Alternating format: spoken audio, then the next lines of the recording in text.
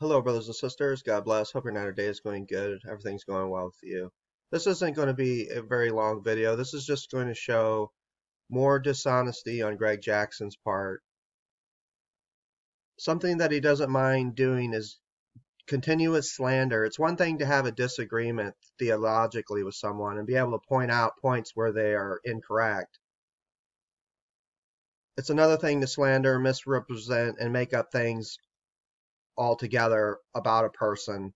And this is what Greg Jackson does here. So this person called Ginger Cat says, according to Truth Speller, you are chosen if you believe his words, not mine. So it's actually the words in the Bible that teaches us that if you believe it's because you're chosen. It's so it's not even my words, it's the Bible's words. And I show this over and over in previous videos. You're welcome to check out those videos. Plenty of verses, brothers and sisters. We Beloved of God, we're always bound to give thanks to God for you. From the beginning, God chose you to be saved through sanctification by the Spirit and belief in the truth. So God chose people to be saved so that they would believe in the truth.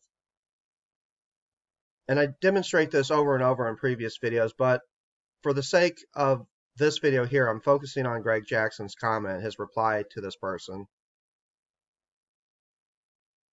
And he says, Mark and avoid that heretic. All Calvinists will then say, well, if you truly believe, it will be apparent in how you live your life, fruit, works, etc. All Calvinists redefine faith, grace, and salvation. They have a different Jesus who didn't die for all the sins of the world and a different gospel. Only truly saved if you have a requisite amount of works and fruit, which they never explicitly define, qualify, or quantify. And you see this got 12 thumbs up by people who don't mind misrepresenting me as well. I'll give people a thousand dollar challenge. You can go to anywhere on any of my videos, and if you showed where I backloaded works or fruits or changed life in any of my videos, I'll give anyone a thousand dollars. So he says, mark and avoid that heretic. And the only reason why he's calling me a heretic is because I'm not bo boasting in my personal choice by which I believe saved me, but I'm believing in the sovereignty of God by which I'm saved. And that God gave me a gift of faith, and faith wasn't something that was self generated from myself. The scripture is very clear that by grace you have been saved through faith, and this is not from yourself, it is a gift of God. So the Bible tells us that faith is not something that self originates, it's a gift of God. And this is why Greg calls me a heretic. He can't be legitimately calling me a heretic because I've ever added fruits or works or changed life to the gospel. He can't be calling me a heretic for any legitimate reasons in accordance to what he's saying here. So the reason why he calls me a heretic is because I can show over and over how God does the choosing, how God chooses people for salvation. And since Greg cannot rebut the scriptures, he's reverted to calling me names, calling me a heretic. He calls me a Calvinist. Keep telling him over and over that I'm not a Calvinist.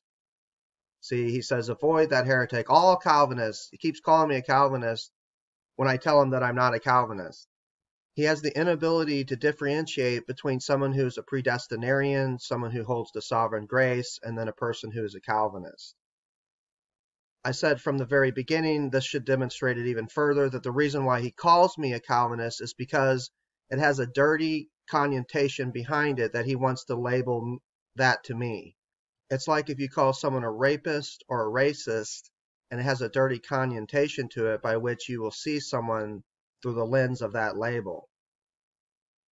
So he calls me a heretic, he calls me a Calvinist, something that I'm not. He then goes on to say, At what I teach, it will be truly apparent in how you live your life, your fruits, your works. All Calvinists redefine faith and grace and salvation. So this is a thousand dollar challenge to Greg Jackson since he made this charge that I add fruits, works, change life, etc. to the gospel. that I redefine faith and I redefine salvation. Greg Jackson, you'll get a thousand dollars if you can provide those videos by which I've done that. Since you've made the slanderous charge, that's what I do, that I've redefined faith and I add works, a changed life, fruits, etc.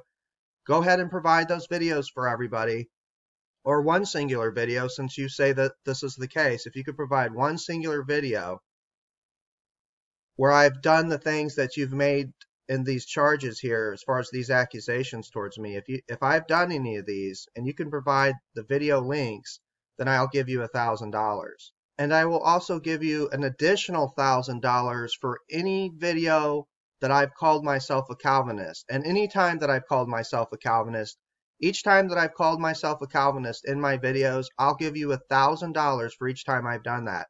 So if you can find five videos where I've said it, you'll get five thousand dollars. If you can find ten videos where I've said it, you get ten thousand dollars. Greg, if you can show me those videos where I've called myself a Calvinist, I will give you a thousand dollars for every time I've said it, along with a thousand dollars for every time I've added fruits on or works or changed life, etc. to the gospel. Since you claim that I do this, this should be very easy for you to demonstrate by providing video evidence. And I would think that this would be an irresistible opportunity for you since it's so clear that I say that I'm a Calvinist and I'm a Calvinist and I add works and fruits, etc., the changed life. If you can provide any of this evidence, you'll get a thousand dollars. You'll clear your name as being a slanderer and you'll get to line your pockets with a lot of green. So this seems like this would be a great opportunity for you, Greg Jackson, since I must have called myself a Calvinist over and over for you to say that I'm a Calvinist so confidently. And I must have added on a changed life, fruits and works and etc. to the gospel. You must have seen that in my videos that I've called myself a Calvinist and have done all these things. So you're more than welcome to go through all my videos, pick out the videos, and you will be rewarded handsomely when you are able to provide evidentiary support for the things that you're saying. He goes on to say they have a different Jesus who didn't die for the sins of the world. That's another lie. I believe what the scripture says when it says that he is the savior of the whole world. But what's that mean? Does it mean he's the savior of every single individual? Or does it mean that he's the savior of the world? Because there's no passage that says that he's the savior of every single individual, but there's plenty of passages that show us that he is the Lamb of God that takes away the sins of the world. Now, what's world mean in biblical context? Now, to get that answer, we come over to Ephesians chapter 2, starting at verse 11. It says, Therefore, remember that previously you, the Gentiles, in the flesh, who are called the uncircumcision by the so called circumcision, which is performed in the flesh by human hands, remember that you were at that time separate from Christ, excluded from the people of Israel, and strangers of the covenants of the promise having no hope and without God in the world. Verse 13 says, But now in Christ Jesus, you who were previously far away have been brought near by the blood of Christ. Now we see Paul references the Gentiles as being without hope and without God in this world. That there was a time when the Gentiles were excluded from the promises, from the covenants, from Israel, they were separate from Christ, having no hope and without God in the world. So at one time, the Gentiles were without the covenants, without the promises. They did not have God. They didn't have any hope. But now it talks about the blood of Christ in verse 13. But now in Christ Jesus, you who were previously were far away have been brought near by the blood of Christ. So what this verse is saying is that the blood of Christ is now applicable to all peoples of the world men from every tribe, tongue, and nation of people.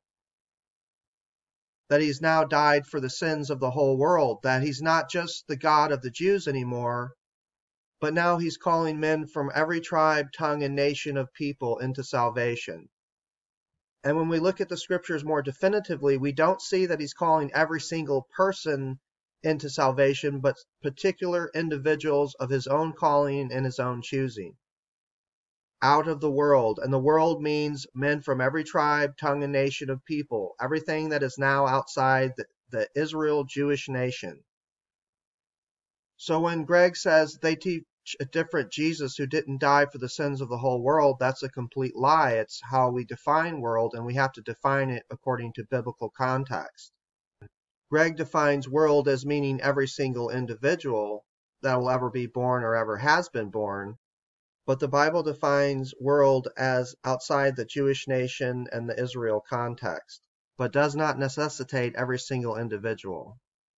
So he goes on to say, they have a different gospel, only truly saved if you have a requisite amount of works and fruit, which they never explicitly define, qualify, or quantify.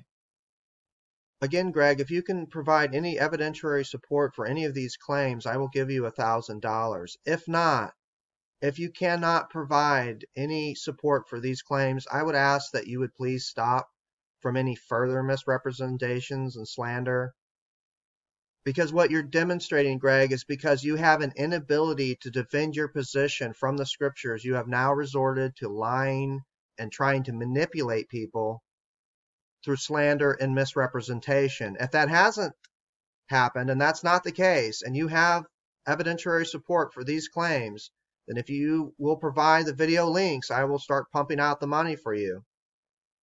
You give me your PayPal link and you'll watch thousands of dollars flow into it each time I've called myself a Calvinist and each time I've added works and fruit and changed life unto the gospel. If not, you have just been exposed as being a liar and a slanderer who doesn't mind misrepresenting people. You're probably bitter because of the previous videos that exposed you for being someone who's biblically inept when it comes to someone who does not understand God's sovereignty and because you were in fact napalmed with scripture after scripture that shows that God does do the choosing and you have no rebuttal except humanistic excuses. Because in your arsenal you had no scriptural defense. You then started slandering me. And you to this present day keep slandering me and misrepresenting me. If you can't provide the evidence then it's just the case that you don't mind being a liar and a slanderer. And the people that validate you on this don't mind being the same way. They don't mind being slanderers either. And I'm referring to the people that thumbs up this comment that you made or people that make the same slanderous charges but have no actual support for these type of charges. So I'm going to probably wrap this video up here, brothers and sisters. God bless you. Just wanted to bring this out. Kind of want to move beyond this. But there are people that don't mind misrepresenting people that are trying to give biblical truths about the gospel and about God's sovereign grace. And because Greg cannot defend his position biblically, he's now resorted to lying and slandering, something he has been doing. I just thought he'd probably stop it by now, but he's actually continuing doing it. So God bless everyone. Peace to you. Take care. And I hope your night or day is going good.